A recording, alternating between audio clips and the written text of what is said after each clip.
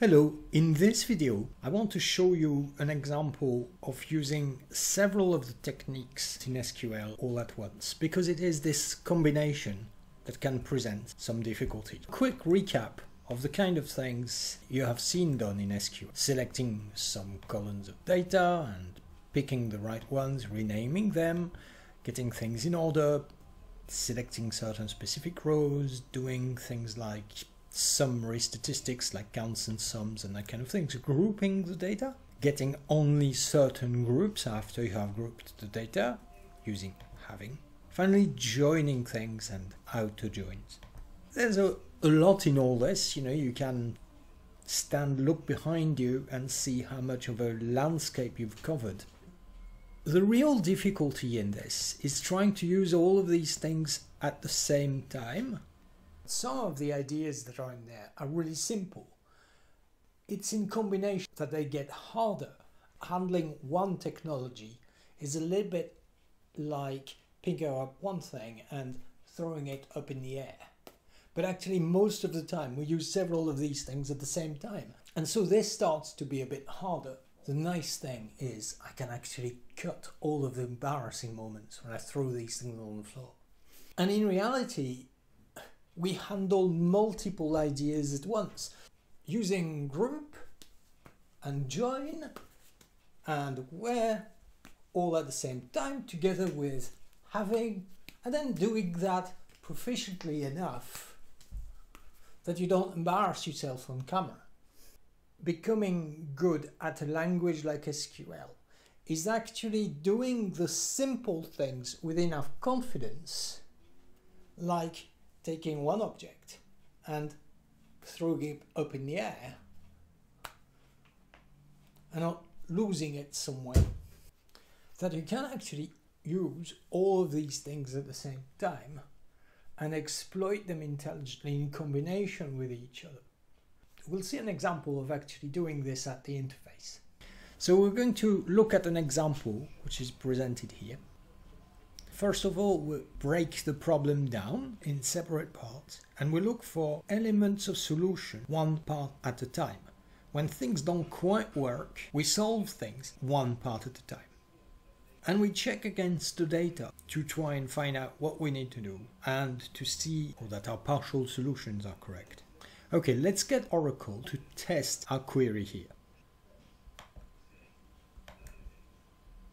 Got the Oracle already logged in and I copied the problem in the list here. So it's the same question except written down slightly differently so that we can see the separate elements that we have to work at. The number of employees, total of all of their salaries in each department, also showing the department's name and the location. And we can work at each one of these things separately. It's something to do with the employees. So I'll start with a query. Very partial. Get everything from the employees table. Now there it is. 10 rows. Tell the computer to show enough. There we can see everything. There are 14 rows. So we've got the list of employees, but not how many of them. To get the number of them, there is a function which is count. That will count the rows. The star here gives me the whole row. So count star counts the whole rows. There are 14. Yeah, okay. I suppose I can say that I've done this. And the total of all of their salaries the total of all of their salaries. Where is the salary information in this table? I need to see the data really to understand what is happening. Where is it? There. Okay, so there's the employee number and name and their job and aha, there's the salary. I wonder if the commission counts. I'll say the commission doesn't count for now. I need a salary then. Well, no, because if I do this, then I have one result that tells me there are 14 employees, but I can't display that one result and in the same table the salary of each. So here I need the total, which is done by doing sum. If you forget, if you had written total here, you'd get an error message like this. Okay, let's rerun this. There's my total of all the salaries and uh, well, I suppose I've done these two things now. In each department. What in each department? The department, uh, right, the employees are in a department. I can see it here by looking at the employees department number. I need this by department, which is grouped by department, by department number because we group by a column. Is this it? Ah, now I can see that I have a department number where there is just one employee earning 5,000, another one where there are six people earning 9,000 in total, another one with five and 10,000 something, and finally, yeah, that's right, and one more with two. I think uh, this one here is the boss. I think, but I'm not sure because I. What department? Which department has got six people? I should be able to actually show the department number along with the rest. The trick if, if I group by department number, I can also display the department number. We say we group by what we're not counting. So I'm counting this one, I'm summing this one, I'm grouping by this one and I can display it. Uh, so one person here in no department whatsoever, yeah, it is the boss six people in department number 30 and five people in department number 20 and two people in department number 10. Is that it? That means that I've done this. So far so good, it's going quite well, isn't it? Show the information with the department name and location. With the department name, the department name is what column? There's my data. Department name, e-name, that's the employee's name. Is there more before? Employee number. E-name is the employee's name. Job manager, hire date, salary, commission, department number. Where's the department's name? It's in another table, isn't it? It's in that table called dept D name. Right, and I'm going to have to join the two. To join them, there's the department number. Right, right, okay to join them.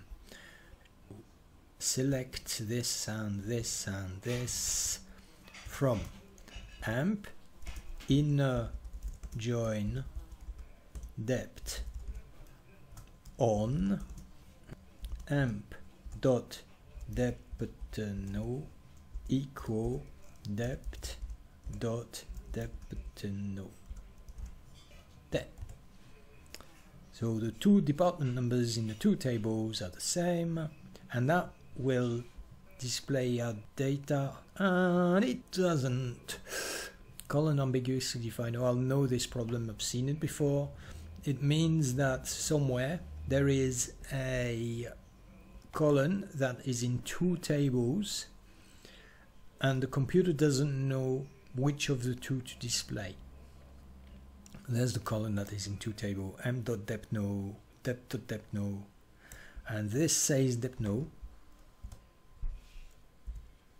I'll do emp dot depno well again group by it's got depno again and dot depno I'm displaying the same one that I'm grouping by I'm grouping by what I'm not counting Okay, now I've got the, it's the same data as before, isn't it? Why do all of this effort? Wait, in each the number of employees and total of their salaries in each department, the, dep- the department name. I need to display the department name, the name, like this. Is that it? No, that's not it. Ah, uh, not a group by expression. Uh, the problem is dname since I've just added dname. And dname, I should be grouping by dname. I should be grouping by dname because I'm not counting it and I should be grouping by what I'm not counting. There's the department's name. Can I just stick the location in there? Location, group by location.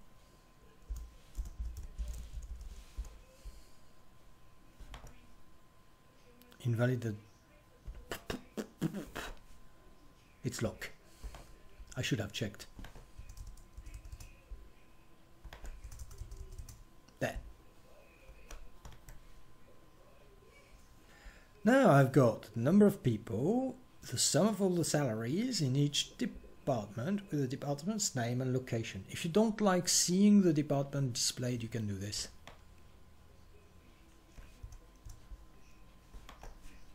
Maybe it's a neater way of displaying the same data. Well, we have a solution. It takes a few goes because each time we develop a bit of the solution, we get the occasional error and we have to check the data and check our result. This says there's two people in accounting and there's five people in research and I should give it a check. Data in department table, accounting is 10 and research is 20 and in the emp table accounting is 10 and there's one uh, two people uh, and research is 20 and there's one two three four five okay so my data is correct here there's quite a few of the technique not quite every one of them so i wonder if i can actually do more how about if i get only certain groups groups where the total of all of those salaries is is more than this one. The total of all the salaries that column some sum.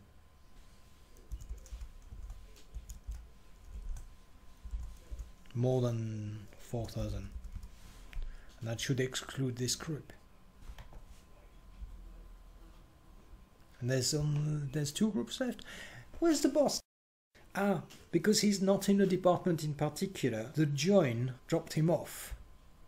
Remember when the join doesn't actually have, when there is data in one table but no matching data in the other, it gets lost in doing the join.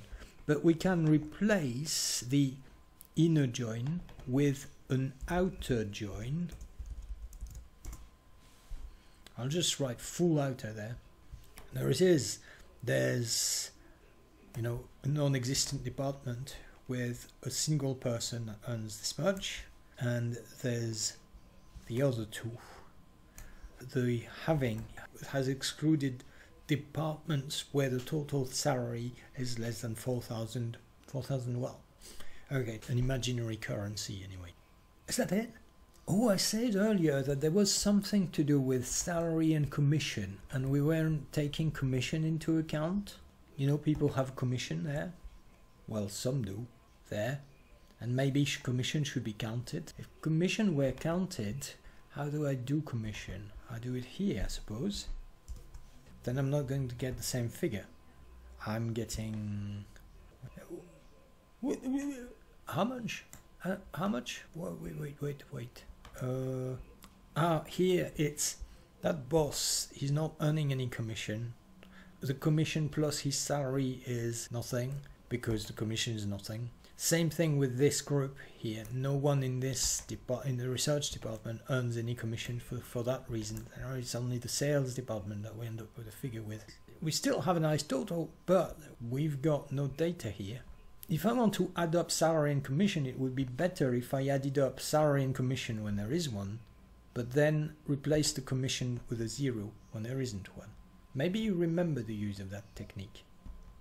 Instead of writing com here, I'm going to write nvl com comma 0 okay now I see the research department has that much earnings and I see that sales department has that much earnings.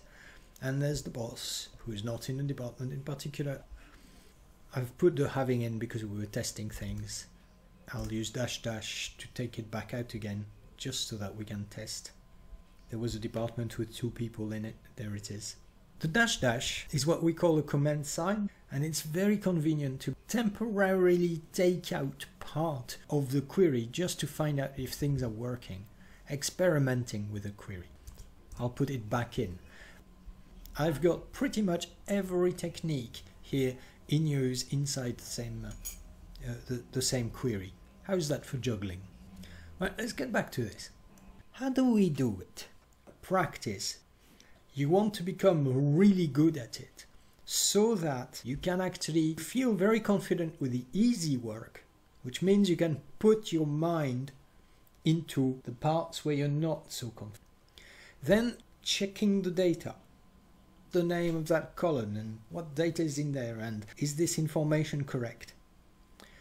Using the tools, in effect, we use Oracle to learn about Oracle. When you're not sure about something, you type a query anyway to find out, to get to understand your data better, to get to understand your tools better. If you have a problem that is complicated, try to resolve a small portion of the problem and you will get it wrong. We use the failures, we use the error messages, we use the partial solutions that don't quite work as if clues to go forward from. Nothing is going to go wrong. Trust me on this. Thank you. Keep practicing. Put a thumbs up or a comment to say you've been here and whether you're finding this useful or if you have questions. I will pay attention to them in later videos. Meanwhile, stay well. I hope to show you some more of this work soon. Starts to be using group together with having and join and I hope you enjoy seeing myself embarrass myself. All right.